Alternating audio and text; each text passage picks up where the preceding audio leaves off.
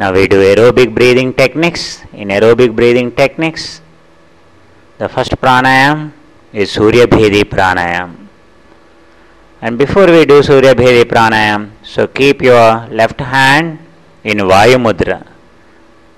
Keep your tip of index finger to the bottom of the thumb, palms facing upward. For all breathing techniques, aerobic breathing techniques, keep always your palm upward, where you draw the energy.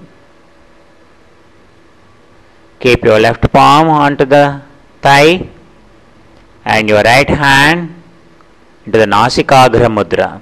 Nasikagra Mudra, your middle finger, index finger onto the forehead and your mid and your ring finger above the nostrils onto the bone. And you are controlling your nostrils between thumb and little finger. That is called nasikagra mudra. With the practice you will be able to do this mudra comfortably. So it helps in pranayama. Now surya bhedi keeping your left hand in Vayu Mudra, right hand in Nasikagra Mudra.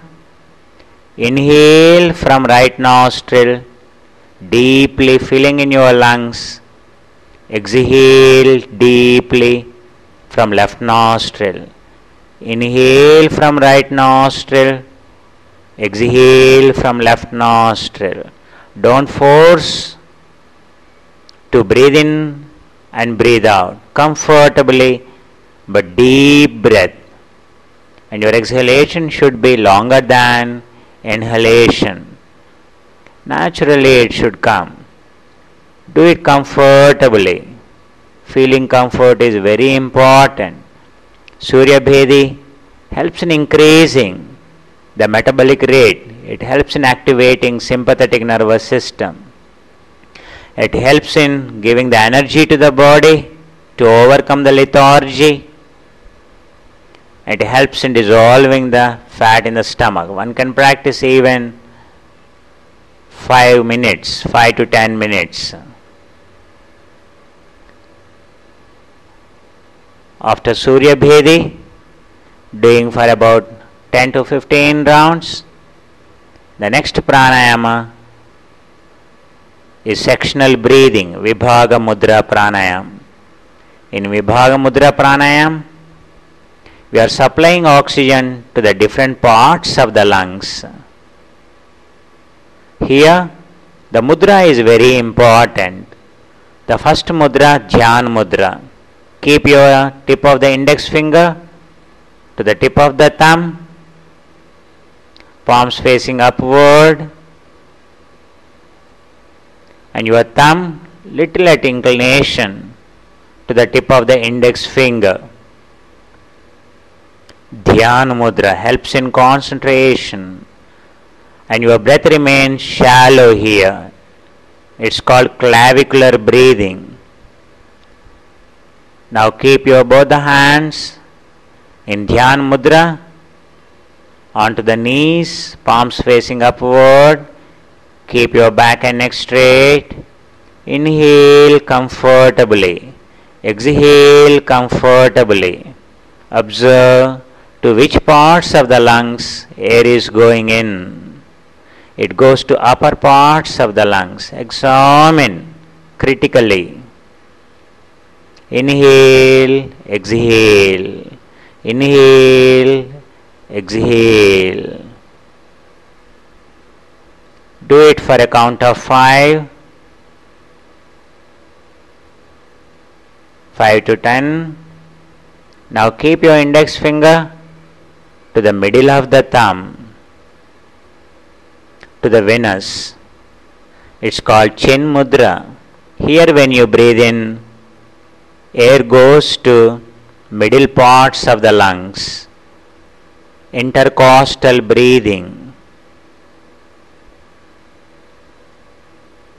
Keep your both the hands in Chin Mudra. Keep your back and neck straight.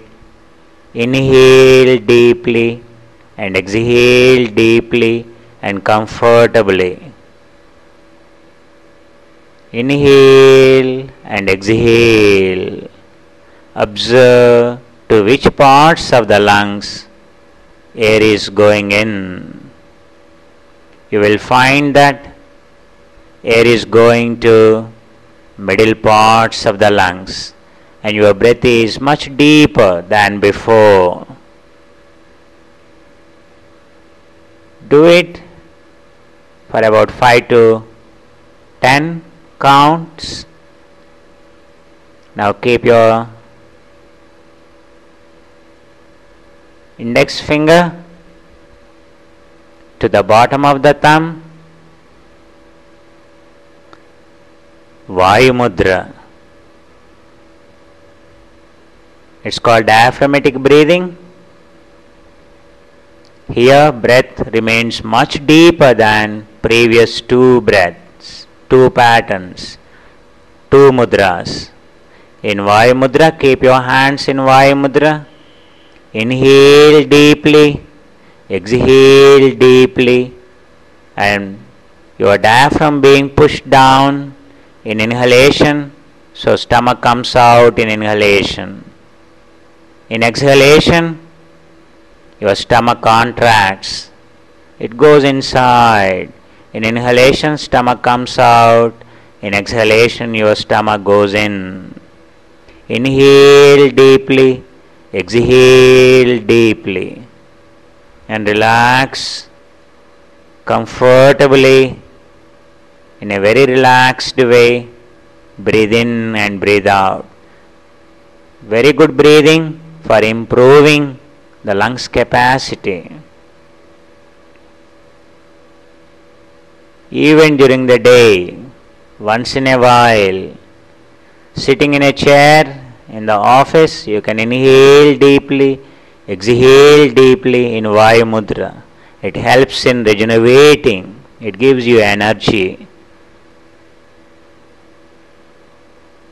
Here, breath goes to, air goes to deeper parts of the lungs, deeper parts of the lungs.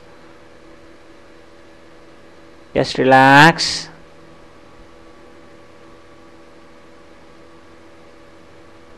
The next breathing technique we are going to practice is Bandhatraya Pranayam.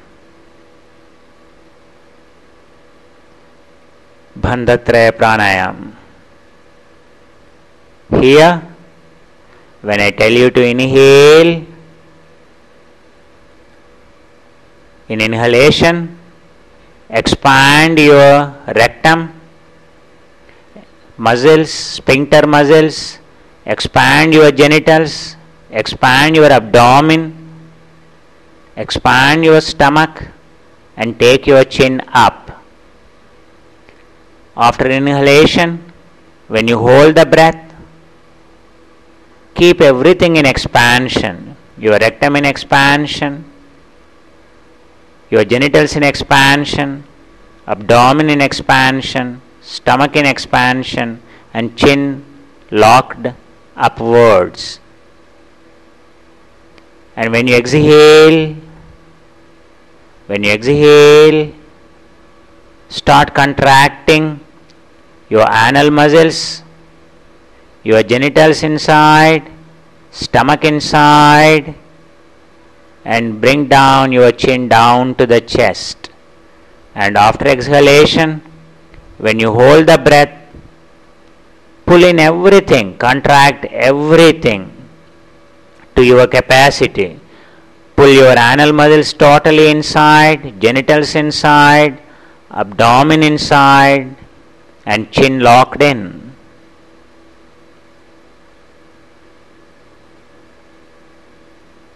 Here, pulling in your sphincter muscles and expanding it, it's called Ashwini Mudra. Moola Bandhan, contraction. Your genitals, expansion and contraction called Vajroli Mudra, Amaroli Mudra. and your abdomen contracting in Uddhyan Bandhan. Locking inside called Jalandhar Bandhan. That is why it is called Bandhatraya Pranayam. Come, let's start. Keep your both the fingers in Jnana Mudra. Keep your palms facing upward in Vayu Mudra and keep your palms downward onto the knees. So taking support your knees. Now your palms are downward in Vayu Mudra called Jnana Mudra. It helps in removing the impurities in your systems, in your excretory system, reproductive system and digestive system.